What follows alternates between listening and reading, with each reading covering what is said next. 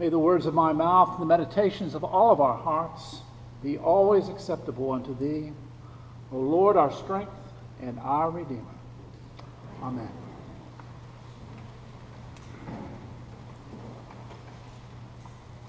In a commentary on this morning's gospel lesson, the Reverend John Claypool relates that he once, that he once asked a Jewish friend why people of his faith so often answer a question by asking a question.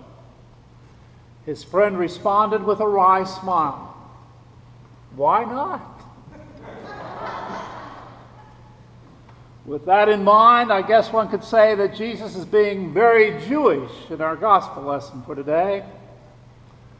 We are told a lawyer puts Jesus to a test by asking the question, What must I do to inherit eternal life? Good Jewish rabbi that he is, Jesus responds with a question. In fact, a couple of questions. What is written in the law, and how do you read? In other words, what does the Torah literally say? And how do you interpret that? Again, being a good Jewish rabbi, Jesus knew that Scripture can be interpreted more than one way, and frequently is. In this little cat and mouse game, the lawyer answers only the first question by reciting from the Torah. You shall love the Lord your God with all your heart and with all your soul, and with all your strength, and with all your mind, and your neighbor as yourself. Jesus responds by telling the lawyer that he has basically answered his own question, and quite correctly. Now, all the man has to do is live out these words. Now, is the lawyer satisfied with our Lord's answer? Well, no. You see, he wanted to put Jesus on the spot, trip him up. Obviously, thinking in terms of the old adage, the devil's in the details, he tries to pin Jesus down by having him define just exactly who qualifies as a neighbor. This was quite a matter of debate in Jewish circles, and perhaps not surprisingly, the tendency was to highly restrict the definition of neighbor. Think of it as human nature 101. It's kind of like when you haul all your yearly financial records to your tax accountant. You do not want him to tell you what is the highest possible amount of money you can pay in taxes. You want him or her to tell you how you can reduce your taxable income so that you can legally get by with paying as little as possible. I think it is pretty safe to assume that this lawyer wanted Jesus to provide him with the most narrow definition of the word neighbor. Well, as we see, Jesus does not give the lawyer a direct answer. Instead, he tells the lawyer a story. A story we know as the parable of the Good Samaritan. What we do not always keep in mind is that for a Jewish person like the lawyer, the term Good Samaritan was basically an oxymoron. There was really no such thing as a good Samaritan. A Samaritan could well be a villain in a Jewish story, but not a hero. Telling a Jewish audience of that day the parable of the Good Samaritan would be kind of like telling a group of Holocaust survivors the parable of the good Nazi. Be that as it may, the story. A man, presumably a Jewish man, was going from Jerusalem down to Jericho. A very dangerous journey in that day and time. In fact, I understand it still can be. And so it happens that some thieves attack and overpower him, beat him to a pulp, and leave him for dead.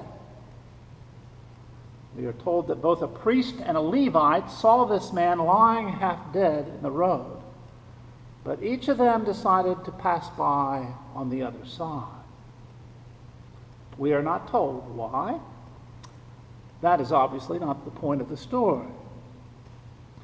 In any case, Jesus says that a Samaritan comes along and he is moved with pity. So much so that out of his great compassion, he makes all of his resources available to this man. Seemingly, this Samaritan said to himself, I don't care how much time it takes or how much it will cost me. I am going to do everything I possibly can to help this man. Jesus then turns to the lawyer and asks him yet another question Which of the three proved neighbor to the man who fell among the robbers? The lawyer's response the one who showed mercy on him. To which Jesus says, Go and do likewise. This is, of course, a very familiar parable. In fact, it is so familiar one can miss an intriguing little nuance, one that I think can be more important than we realize. That nuance is that Jesus did not ask the lawyer which of the three truly loved or showed compassion to his neighbor, what one might expect. Instead, the question was posed in this way Which of the three proved a neighbor to the man who fell among the robbers. In other words, the neighbor is defined in this parable as the not as the object of compassion, but as the agent of compassion. Interesting. Thus, we can not only prove beneficial to others when we see them and love them as our neighbors, they can prove neighbors to us as well by providing what we need. Like I am sure is true with a lot, if not all priests, I receive newsletters from certain parishes I once served. The following comes from a newsletter from St. Paul's Episcopal Church in Athens, Tennessee. It was written by my successor as rector, Henry Harrison. It goes like this I met a man from Texas in New Mexico last week. We ate lunch together one day at a large community table in our hotel dining room. He asked me what our church does that's exciting and impactful. And I told him that we had started a homeless shelter for men who are homeless for reasons related to addiction. He said, Oh, great. I am in recovery. He is an alcoholic, sober for nine years. He told me the following about himself. He's a businessman who travels all over the country for his job. He goes to 12 step meetings all over the place, but his favorite city to go to meetings is San Francisco. I asked him why. He said, Well, Henry, here's the thing. I am a successful American, and I am pretty conservative. And to be honest, a little closed minded. When I go to AA meetings in San Francisco, I am pushed to the limits of my tolerance and patience. Why? I asked. Because he said, out there, I am around gay people, transgender people, black people, and Latino people with this urban effect that I am not used to. Women with bad attitudes, poor people, people whose lives I totally disagree with. You get the point. People not like me at all.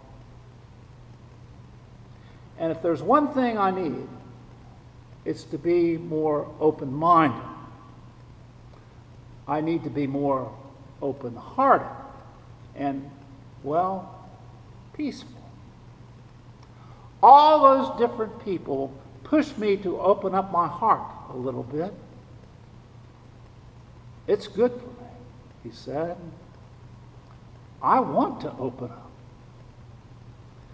He smiled, then he said, So I keep going back. In the book of Proverbs, we are told that the fear of God is the beginning of wisdom. Obtaining wisdom as one moves through life is, I believe, very important. And one of the best ways I know how to achieve that is to be honest as possible with yourself. The businessman in the story I just shared is a man who one day looked at himself in the mirror and began to be truly honest about just who he was and what he needed. He found that being around people he was very uncomfortable with was exactly what he required to be the kind of man he wanted to be. And so he discovered that AA meetings in San Francisco provided the all sorts and conditions of men and women who can help him achieve his goal. On those occasions, they become his neighbors. And as he said, they are good for him. We are to love our neighbors as ourselves. But it is important to keep in mind that we need what our neighbors can provide for us. Good neighbors do that. And good neighbors can come packaged in all sorts of ways.